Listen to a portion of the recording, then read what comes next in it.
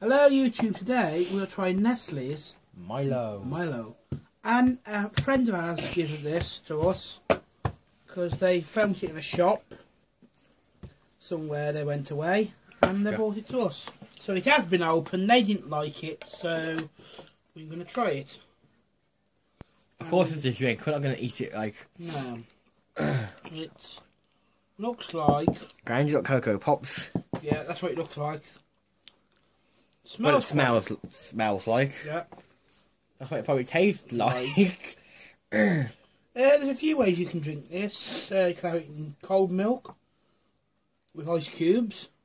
yeah. This is weird. You can have it hot with milk. This is even Sounds weird. better. Um, but this apparently supposed to give you energy.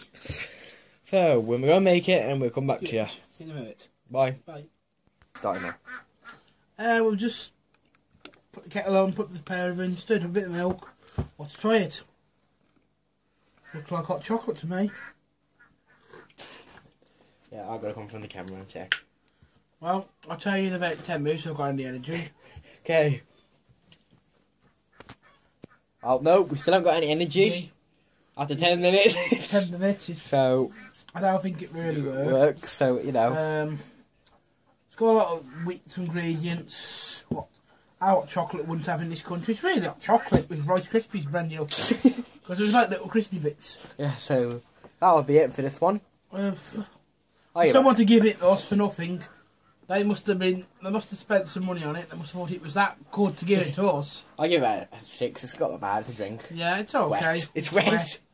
Um, for some sort of foreign drink. Yeah, it's okay. But So- I don't think it can run the marathon.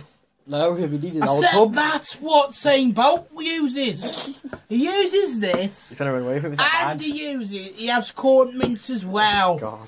That's why he does. That's why he does good because he has corn mints and he has this. So yeah, that'll be it. See ya. Six for me and whatever for you. Six for me. See you soon. Bye. Bye if you don't run away.